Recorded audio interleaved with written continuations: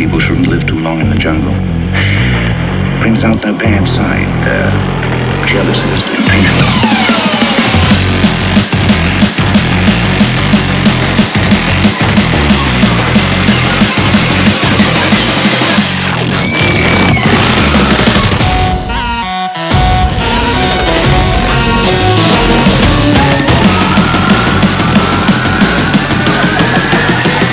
the jungle.